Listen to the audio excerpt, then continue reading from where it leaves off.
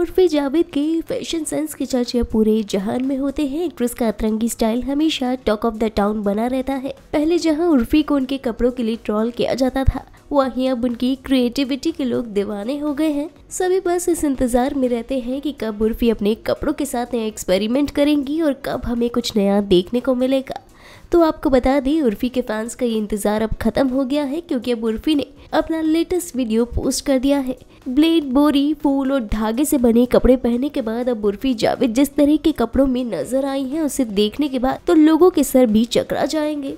उर्फी जावेद ने अब अपने इंस्टाग्राम पर वीडियो शेयर कर दिया है, जिसमें उन्होंने डेनिम के साथ शरीर पर फूल लगाए हैं और टेप की मदद से उन्हें चिपकाया हुआ है।